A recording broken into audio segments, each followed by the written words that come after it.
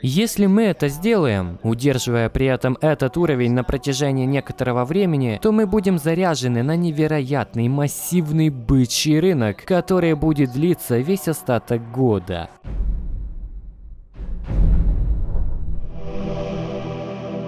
Всем привет, ребята! Добро пожаловать на канал Богатейший Ди. Канал, где я стараюсь ежедневно выпускать видеоролики о криптовалюте. Как вы знаете, во время крайнего медвежьего рынка теория гиперволн биткоина пользовалась большой популярностью. О ней говорили многие аналитики, как англоязычные, так и русскоязычные. И по-моему я ее тоже как-то упоминал в одном из своих видео. На данный момент вы смотрите на гиперволны биткоина. Вы все знаете, что я верю, что биткоин упадет до 1000 долларов. На моем гиперволновом канале я весь год говорил людям, что они должны выйти из всех возможных криптовалют, потому что крипта находится в терминальной фазе гиперволны, которая возвратит цены к самому началу. Я все еще убежден в том, что мы опустимся ниже 1000 долларов, прежде чем сможем снова расти.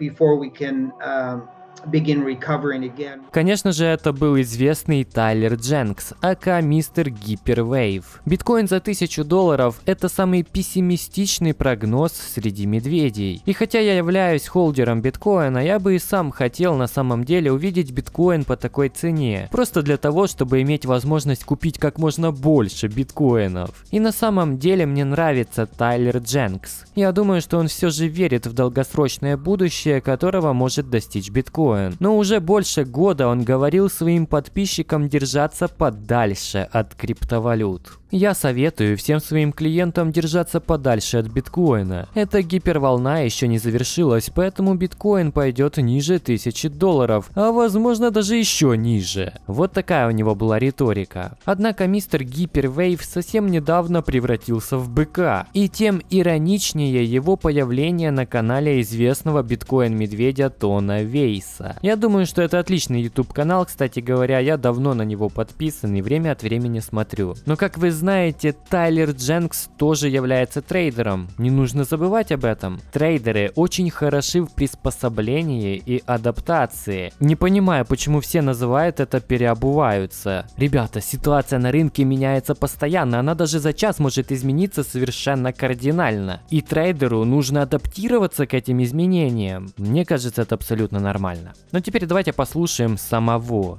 Тайлера. Переключи на месячные свечи, потому что они тоже выглядят побычье. Биткоин только начинает расти, и он может продолжать делать это до конца года. Но я думаю, что этот диапазон между 10 и 11 тысячами долларов очень важен, если мы смотрим на рынок в краткосрочной перспективе. Я ожидаю, что цены в 11 тысяч и выше окажут сопротивление, и я верю, что мы вернемся к этим отметкам. Я неоднократно повторял в прошлом месяце, что после того, как мы купили на уровне 6,5 тысяч долларов и продали половину, я все время искал шанс, чтобы продать и вторую половину. Теперь этот план больше не соответствует действительности. Но я убежден и консенсусом, и кривой Копака, и индикатором ADX, что этот рост реален. И под реальным я имею в виду то, что на данный момент величина импульса заслуживает и нуждается в таком резком движении. И оно будет очень бычьим, даже если мы увидим откат. Я очень сомневаюсь, что мы сможем вернуться к диапазону цен от 6 до 7 тысяч долларов, однако мы могли бы легко вернуться к отметкам 7,5-8,5 тысяч. Если мы это сделаем, удерживая при этом этот уровень на протяжении некоторого времени, то мы будем заряжены на невероятный массивный бычий рынок, который будет длиться весь остаток года. Поэтому я не собираюсь выходить из биткоина, который у нас остался. Я наоборот собираюсь аккумулировать еще больше монет на откатах.